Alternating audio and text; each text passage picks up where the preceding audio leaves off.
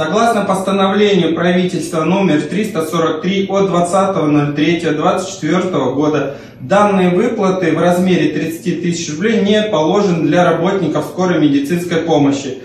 Фельдшеры десятка районов края в едином порыве просят восстановить социальную справедливость, записывая видеообращение к президенту. Волна идет по всей стране, ведь по какой-то причине эти медработники не попали в перечень должностей, которым с 1 марта положена проиндексированная выплата. Большинству медиков, работающих в небольших населенных пунктах, с начала весны, согласно постановлению правительства, будут выплачивать по 30 и 50 тысяч рублей ежемесячно. В соцфонде этот факт подтвердили.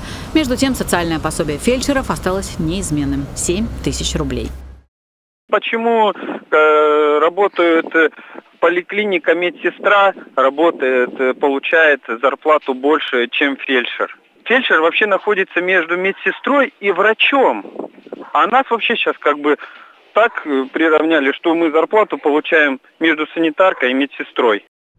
Нагрузка фельдшеров, по их словам, несравнима с работой тех же медсестер, которым при этом обещаны 30 тысяч рублей. Сотрудники скорой выезжают и в грязь, и в холод, порой по 17 раз в сутки. А средняя зарплата фельдшера, если он не работает на несколько ставок, едва доходит до 25 тысяч рублей.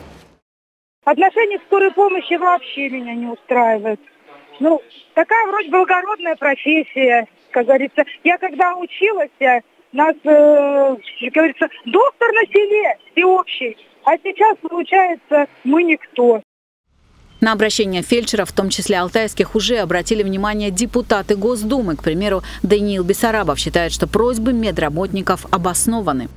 Конечно, это воспринимается как несправедливость по отношению к этой категории людей, которые выполняют очень важную работу на селе, спасая жизни. И если мы не обеспечим равные условия для работы этих людей и достойные условия, в том числе их оплаты, то у нас просто кадры уйдут работать из этого сегмента. Я тут же обратился к председателю Комитета Государственной Думы по здравоохранению Бадме Николаевичу Башанкаеву, к своему товарищу, коллеге, и э, обсудив эту проблему, выработали механизм его решения, и уже в моем распоряжении есть депутатский запрос в запросе, в том числе на имя главы правительства России Михаила Мишустина, недоразумение, а именно так случившееся называет Бессарабов, он просит скорее исправить и надеется, что уже завтра на отчете председателя правительства вопрос, волнующий тысячи людей по всей стране, рассмотрят.